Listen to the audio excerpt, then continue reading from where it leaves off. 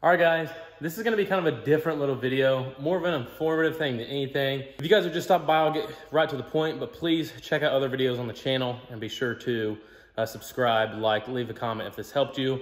So guys, what we're working on today is a 2003 Cummins. This is a 5.9 liter common rail uh, truck.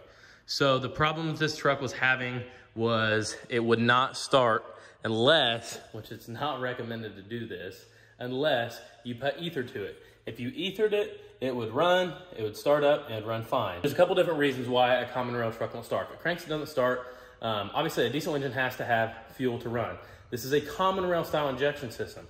So the easiest thing to do, um, the absolute easiest and first thing you need to do is you need to check and see if it's making rail pressure. If it won't start, make sure it's making rail pressure. So we have our snap-on scanner plugged in. I'll try to get the truck to crank without starting so I can show you this. But we're gonna read our data and we wanna know what this truck is making for fuel pressure on the rail. Now this is a high pressure system and my freaking keys turned off. Just a second. Ultimately first, you wanna verify that you have low side fuel pressure. So low side fuel pressure is from your uh, lift pump system. Now, these trucks standardly come with either a little fuel pump mounted on the side of the engine block up to 04 and a half, and sometimes they put them in the tank, 05 and up, it's always gonna be in the fuel tank. You wanna verify that, lift pump is working correctly. You should see around 10 to 20 PSI, it really just depends. Um, I mean, it, it, it's recommended, you know, an aftermarket lift pump is going to be preset at like 15 to 17 PSI, but it's probably going to be somewhere in the 10 to 20 PSI range if it's like a factory lift pump. So once that's verified and there's no chance that that's a problem, you're getting correct fuel flow to the CP3 pump, um, you want to verify what your fuel pressure is, your what your high side fuel pressure is. So as you guys can see right now, we have 5,800 pounds in the rail.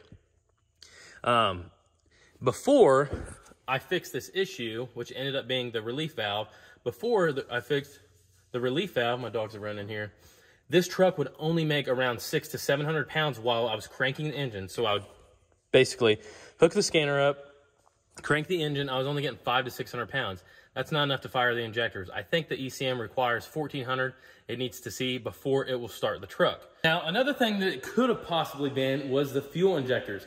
If the fuel injectors on these are returning at a high rate, it will not make enough rail pressure to start. So that's what I was hoping that it didn't turn into, and I'm really glad we're gonna be able to get this customer back on the road with this. But guys, all it was was this little relief valve. So this little relief valve here was bad. Um, and I'll show you the one that we took off. It's basically just a very small orifice for the fuel pressure to go to, go through. And this was basically allowing all the fuel to go back to the tank. So we got our new one on here.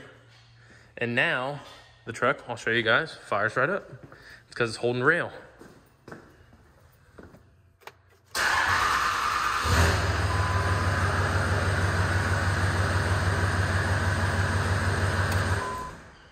Scanner's freaking out still. But um, other things you guys can check, I'll go over real quick before we close this video out, is the fuel control actuator.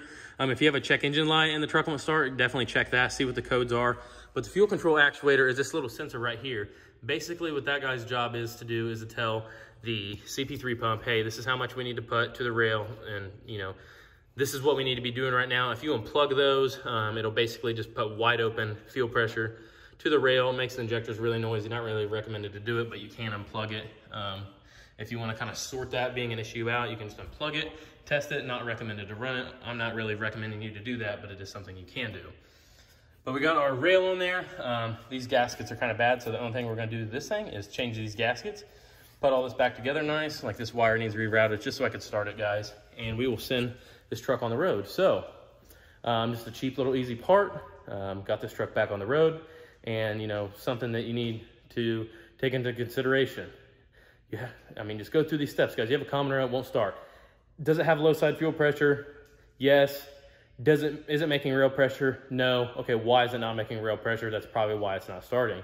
So go through those, you guys will figure it out. Um, another thing it could be is the rail pressure sensor. There's a rail pressure sensor right here. This sensor can go bad, but a lot of times if one of these is bad and it's reading uh, it's not reading correctly, you're gonna get a check engine light. If that's bad or that's bad, you may not always, but most of the time you're probably gonna get a check engine light. If not, this little guy right here, try that.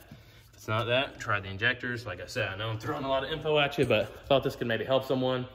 Um, definitely help my customer customer out a little bit, and we'll get him back on the road. So all I gotta do is grab those gaskets. This thing will be ready to go, and we'll move on to the next one, guys. But without further ado, I'm gonna close out this little video. I know it was short, sweet, to the point. Just wanted to help. Hopefully, it helps someone out. That was the whole entire goal of this video is to help someone.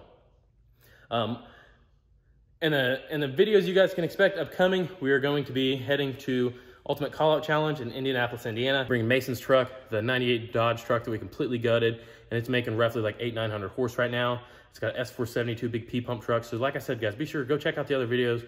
Uh, be sure to check everything out. And yeah, without further ado, uh, also visit the website, dirtydomdiesel.com. Pick up a key tag, pick up a sticker, and we'll see you guys on the next one. Like I said, not gonna be your, your normal video for me, just something informative, sweet, to the point, but see you guys on the next one.